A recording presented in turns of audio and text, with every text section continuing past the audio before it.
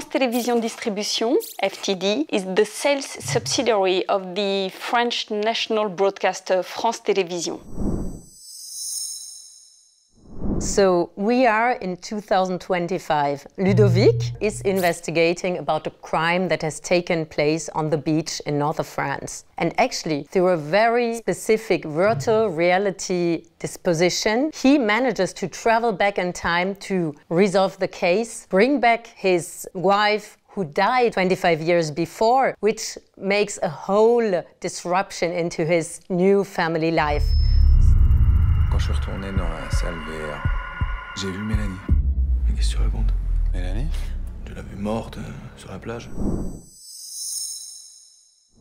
Vortex is a very unique program. It's a drama fiction held outside of the fabric of space and time. It's a gripping story that takes you from a, a more traditional thriller to totally something else, very unexpected.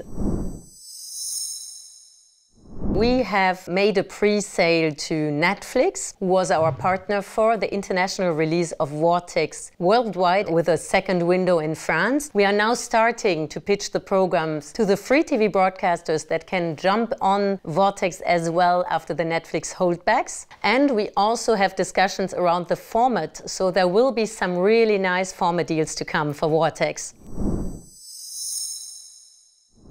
We are very proud to have the opportunity to sell such a high quality and innovative program as Vortex. And we hope that Vortex will have a very long life on a lot of different type of broadcasters in the future and that you can discover actually a lot of local adaptation of this high concept show. Thank you.